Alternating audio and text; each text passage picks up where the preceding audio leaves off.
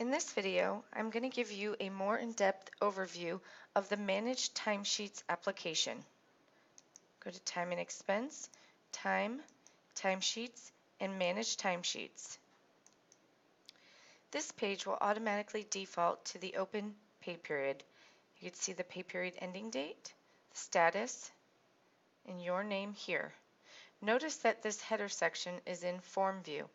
We can click Table to change the view to Table View.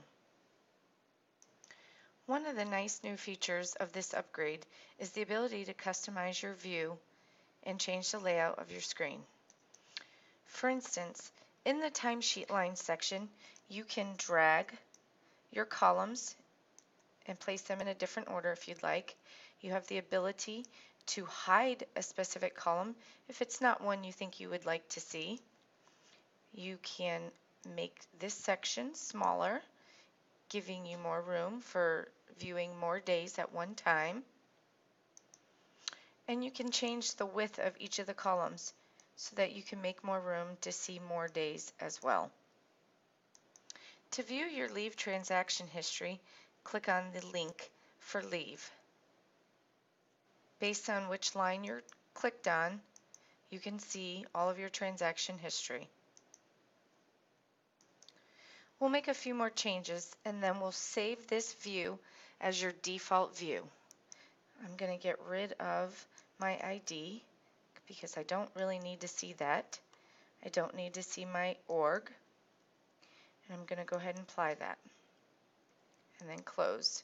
You can see my ID and my org went away. I'm going to make this section just a little bit more smaller and resize this column and this column.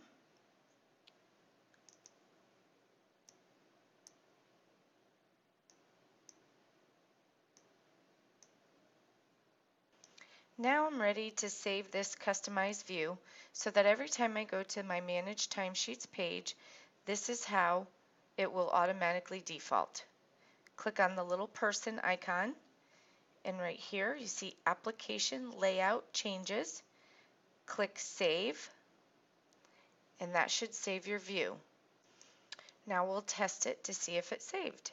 We'll click on the X to close out and then we'll go back into Manage Timesheets, and I should have the same layout. And I do. At any time, you can also reset that back to the normal default by clicking Reset. And there you have it. It will show the way it naturally defaults.